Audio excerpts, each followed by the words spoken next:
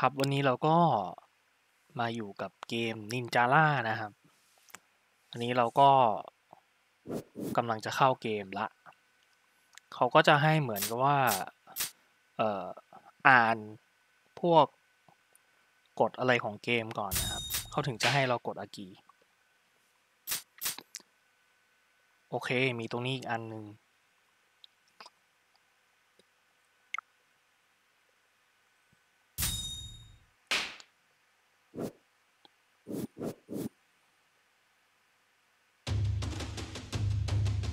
อ่าพอเสร็จแล้วเขาก็จะมี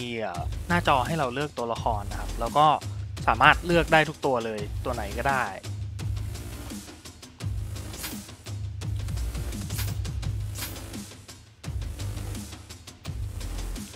อ่าอย่างผมว่าผมเลือกตัวนี้ดีกว่า นี่ก็สามารถเปลี่ยนสีผมได้ด้วยนะ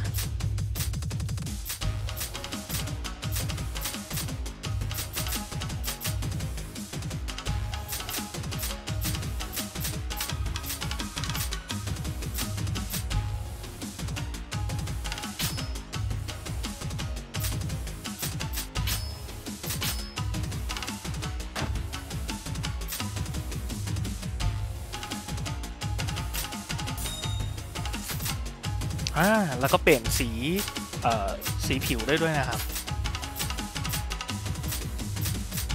สีตา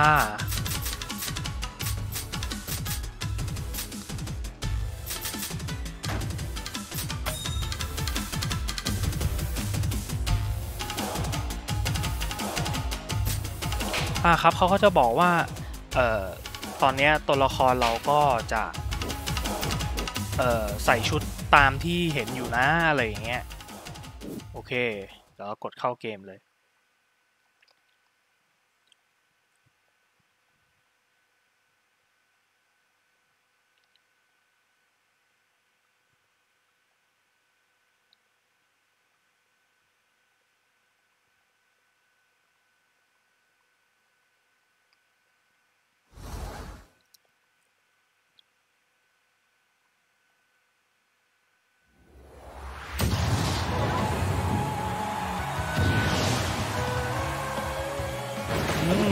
นี้ก่อนเข้าเกมเขาก็จะมีคลิป เอ่อ เหมือนจะเป็นคลิปที่สอนเรานะครับว่าเล่นยังไง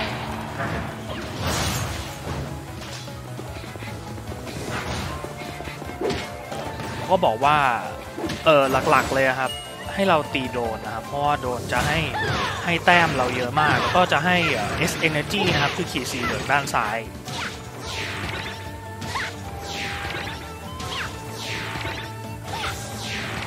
ยิ่งเรามี S energy เยอะเนี่ยครับ เราก็สามารถที่จะอัปเกรดอาวุธได้ เนี่ยครับ เป็นอาวุธที่ใหญ่ขึ้น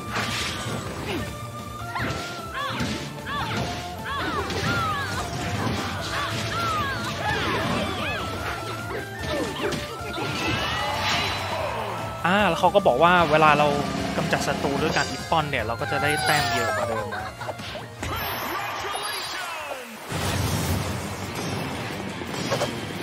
อะคราวนี้เขาก็บอกเกี่ยวกับการ control นะครับ ก็คืออนาล็อกด้านซ้ายเอาไว้เดิน กด B เพื่อกระโดด กด 2 ครั้ง double กระโดด double เอ่อกด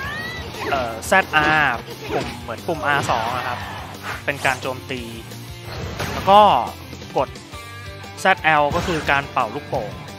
เวลาเป่าลูกโป่งเนี่ยมันก็จะมีหลายแบบถ้าเราเราเป่าลูกโป่งแล้วอยากให้มันลอยไปข้างหน้าเนี่ยให้เรากด R แต่ว่าถ้าสมมติว่าเรากดเป่าลูกโป่งไว้แล้วกดกระโดด 2 ทีเนี่ยมันก็จะเป็นการแดชบนอากาศอ่าแล้วก็อันนี้คือท่าอันติเมตกด X อ่าอันนี้คือการแพรี่นะครับแพรรี่คือเวลาเวลาเราแบบตีพร้อมกับศัตรูอะไรอย่างเงี้ยมันก็เหมือนจะบวกกันนิดนึง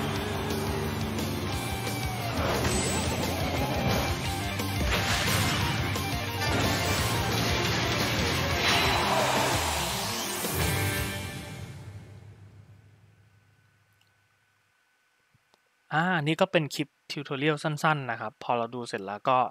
ให้เรากด B back ออกมา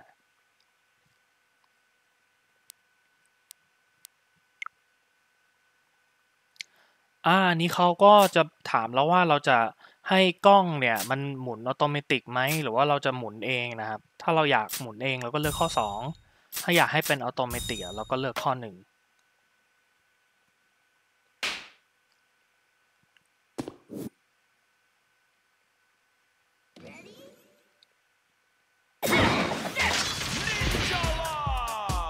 อ่าอันนี้ก็เป็น Basic Action นนะครับ ก็คือ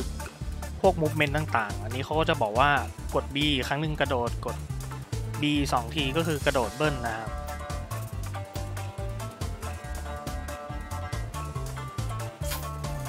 อ่าอันต่อไปเดินไต่กำแพงก็คือเราสามารถเดินไต่กำแพงได้เลยเดินธรรมดานี่แหละ แล้วก็การโจมตีก็คือกด ZR นะครับ หรือว่าปุ่ม R2 เป่าลูกโป่งกด ZL ถ้าเป่าลูกโป่งก็จะให้มันลอยไปข้างหน้าก็กด ZL ค้างไว้แล้วกด ZR นะครับอ่าอันนี้ถ้าสมมุติว่าเราอยากแดชบนอากาศให้เรากด ZL ค้างไว้เป่าลูกโป่งไว้แล้วกด B 2ทีนะครับ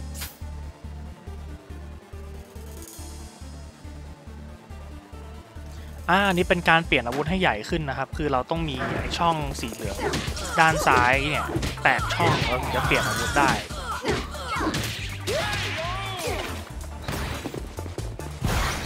อ่าเนี่ยครับ อันนี้ผมลองเป่าดูละ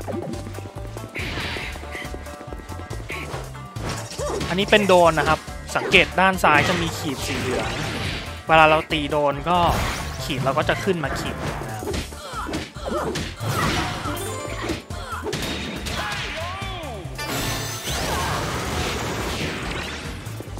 ซึ่งอาวุธแต่ละอาวุธเนี่ยจะมีท่าไม่เหมือนกันนะครับนี่ผมลองมาสองอย่างละ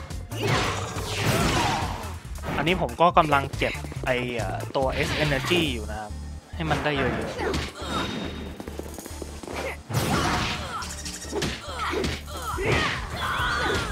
เกมนี้เล่นง่ายมากนะครับสำหรับคนที่แบบเล่นไม่เก่ง เพราะว่า เอ่อตัวเกมเนี่ยเขาจะเหมือน auto aim ให้เลยนะเวลาเราหันหน้าไปทางใครเนี่ย เราก็ เหมือนกับว่าเวลากดตีมันจะพุ่งไปที่คนนั้นเลยอ่าเนี่ยครับอาวุธใหญ่ขึ้นแต่รู้สึกว่าอาวุธใหญ่ขึ้นเนี่ยไม่ได้มีผลกับพวก damage มากนะครับไอตัว damage เนี่ยมันจะมันจะอยู่ที่อาวุธที่เราใช้มากกว่า แต่ว่าเวลามันใหญ่ขึ้นนะแน่นอนว่าระยะที่เราตีศัตรูเนี่ยมันก็จะไกลขึ้นด้วยนะครับ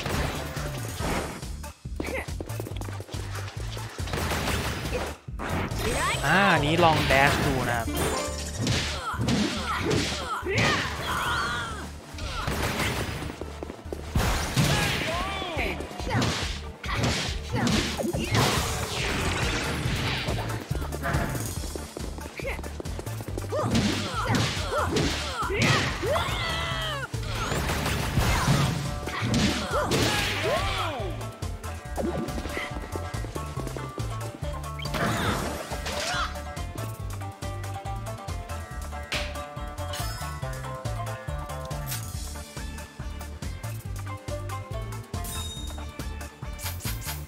อ่าอันนี้เราก็สามารถกดลบแล้วก็มาดูพวกคำอธิบายต่างๆได้นะ ระหว่างที่เรากำลังเล่นโหมดฝึกอยู่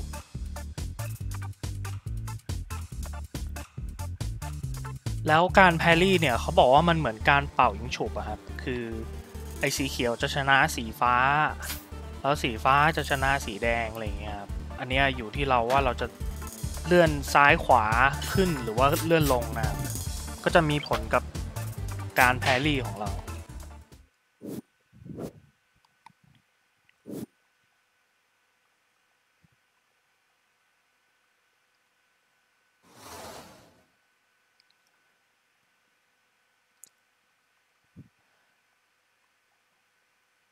ครับแล้วพอเข้าโหมดฝึกมาแล้วเนี่ย หน้าจอนี้ก็จะเป็นหน้าจอเหมือนเป็นล็อบบี้ของเรานะครับ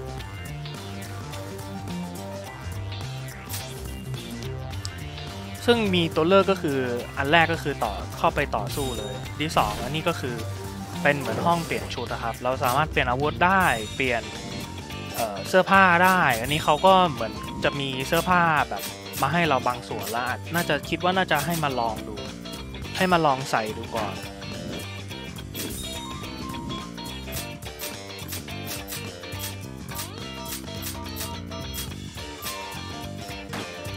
ก็สามารถแต่งตัวได้หลากหลายเลยนะครับ เกมนี้อ่าแล้วอาวุธก็จะมีอยู่ตอนนี้ที่เห็นมีอยู่ 4 ประเภทนะครับ แต่ผมไม่แน่ใจว่าอันแรกกับอันที่ 2 มันเหมือนกันไหมอ่าเดี๋ยววันนี้ผมจะลองใช้ค้อนดูนะครับ มันน่าจะตีแรง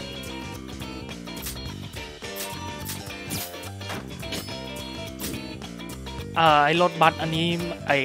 ตัวเลือกที่สองเมื่อกี้ที่ผมเลือกนี่ไม่แน่ใจนะว่าคืออะไร เพราะว่าตอนเล่น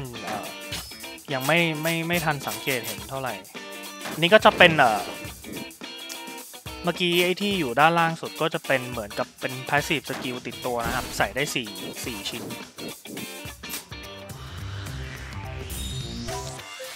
อ่าตัวเลือกสุดท้ายนี่ก็เป็นพวกเซตติ้งธรรมดานะครับ ไม่มีอะไร สามารถเข้าไปปรับมุมกล้องได้ว่าจะให้มันออโต้หรือเปล่า จะให้เล็งเองไหม หรือว่าจะเปลี่ยนปุ่มก็ได้นะครับ หรือสำหรับบางคนอยากใช้ไจโรสโคปก็สามารถปรับเปิดได้เหมือนกัน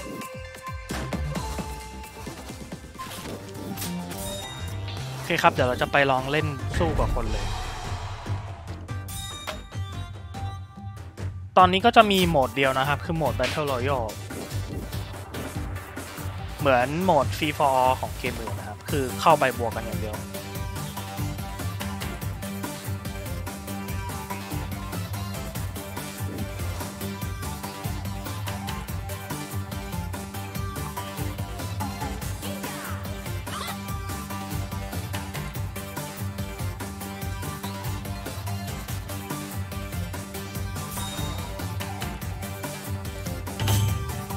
อ่านี้พอเราเข้าล็อบบี้แล้วเราก็ต้องกด standby นะครับ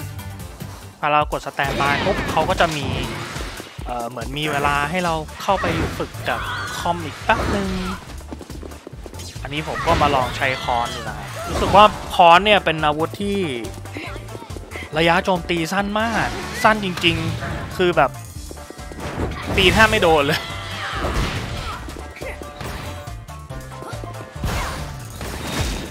อ่าเนี่ยครับ skill ของค้อนจะเห็นว่าด้านขวาล่างไอ้ตรงกลางเนี่ยมันเป็นรูปแมงมุมใช่ไหมครับเวลาเราเป่าลูกโป่งเอ้ยไม่ใช่เป่าลูกโป่งเป่าหมากฝรั่งเนี่ยโดยการกดเอ่อ ZL ค้างไว้แล้วเรากด ZR เวลาปล่อยไปมันก็จะเป็นเป็นใยแมงมุมแบบนี้ครับซึ่งตอนเราฝึกตอนแรกเนี่ยเออเราถือเหมือนเหมือนเป็นคาตาน่าครับเหมือนเป็นเป็นไม้กระบองอะไรเงี้ยซึ่งskill ของอันนั้นมันก็จะไม่เหมือนกับของคอน The battle begins at WNA Academy!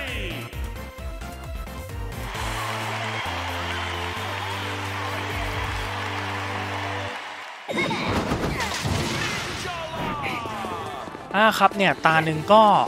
เอ่อแมตช์หนึ่งก็ประมาณ 4 นาทีนะครับ ถ้าดูจากเวลาเมื่อกี้มัน 2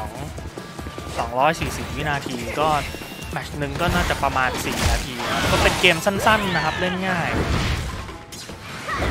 เนี่ยครับ สังเกตดูไหมว่าเมื่อกี้ผมตีเขาไปทีเดียวเอง แต่ว่าเลือดเขาเกือบหมด เนี่ยเวลาเหมือนเราเสียหลักอะครับ เออเวลาเรากด เอ่อ ZL เนี่ย เหมือนเราเราจะหลุดออกมานะแต่ว่าแต่ว่าตอนผมเล่นเนี่ยผมกดผิดไปกด ZR มันก็เลยไม่ไม่หลุดออกมา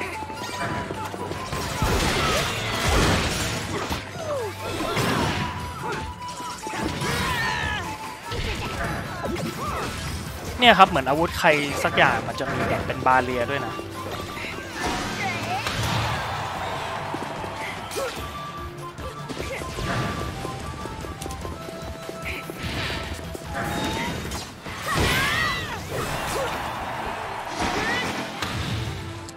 เนี่ยครับระยะระยะโจมตีของคอนนี่มันสั้นมากเลยอ่าอย่างคนนั้นเขาปลอมตัวเป็นกล่องด้วย เนี่ยแต่ว่าคอนอะ ถ้าใครตีโดนอะตีแรงมากอ่าแล้วเมื่อกี้นี้ผมก็เหมือนเหมือนเดาทางเขาถูกนะครับ กดแพรี่ถูกฝั่ง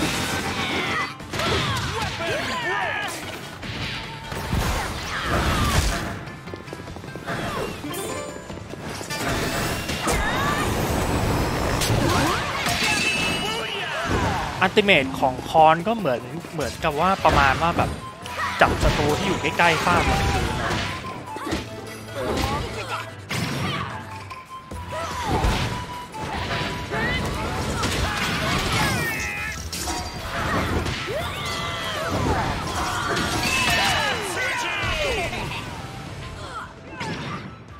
นี้ผมก็เมื่อกี้ก็ยังงงๆอยู่นะว่าเกิดอะไรขึ้น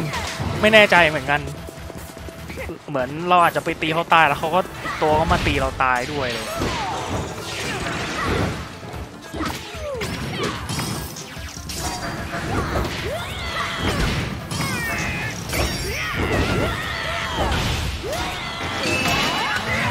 เนี่ยครับก็คือเหมือนเราต้องเดาทางคู่ต่อสู้อย่างคนเมื่อกี้ผม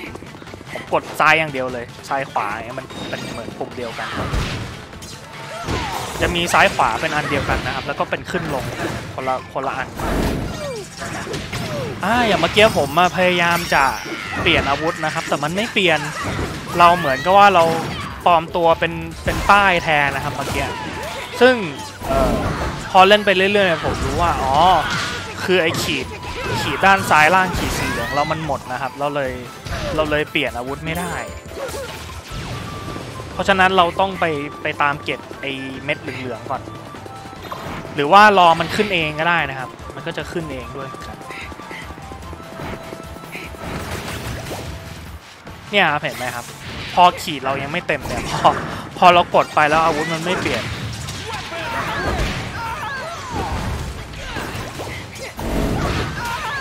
ผมพยายามกดหลายหลายรอบมากนะครับ เพราะว่าเหมือนกับว่าเออโอเค เราอาจจะต้องกดค้างนานหน่อยครับจนลูกโป่งมันจนจนหมากฝรั่งมันมันพองเต็มที่แล้วเราถึงจะเปลี่ยนได้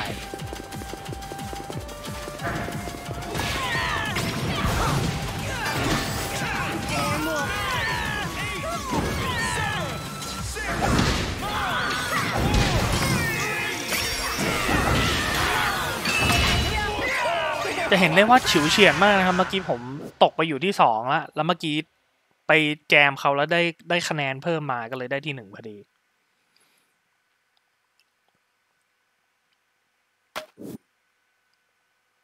อ่าเนี่ยครับ ตอนเนี้ยมันเริ่มดุดละ เหมือนคนเริ่มคนเริ่มเข้าเยอะละแล้วมันก็เลยแบบบ้องบ้องๆหน่อย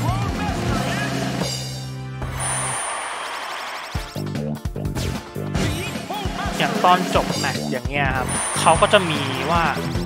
เออคนนี้ทำอันนี้ได้เยอะนะ ก็จะได้แต้มเพิ่มนะครับคือไม่ใช่ว่าพอจบจบตาแล้วคนที่ได้คะแนนเยอะสุดจะเป็นที่หนึ่งเสมอไปนะครับเขาจะมีคะแนนโบนัสมาให้เราทีหลังด้วย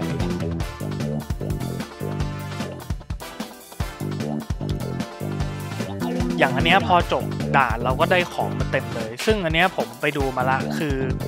มันเป็นสีของอาวุธนะครับที่เราสามารถเปลี่ยนไปใช้สีอื่นได้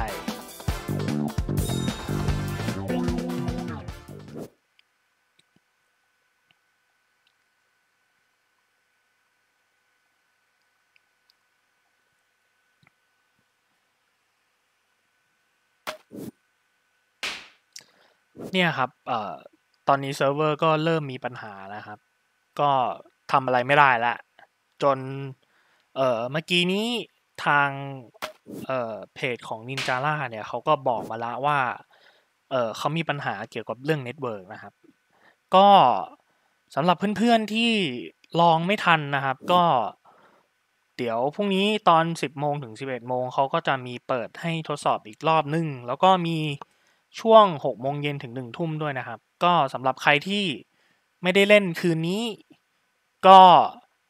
ติดตามพรุ่งนี้แทนนะครับ ลองลองเข้าพรุ่งนี้ดูเขาอาจจะปรับปรุงเซิร์ฟเวอร์ให้มันดีขึ้นสำหรับวันนี้ก็ต้องขอการจบรีวิวสั้นๆ ไปเพียงเท่านี้ก่อนนะครับ แล้วเดี๋ยวไว้มีข้อมูลอะไรเพิ่มเติม เดี๋ยวจะมาเพิ่มให้ในเพจ Ninjala Thailand Community นะครับ โอเคครับสำหรับวันนี้ไปละครับบ๊ายบายย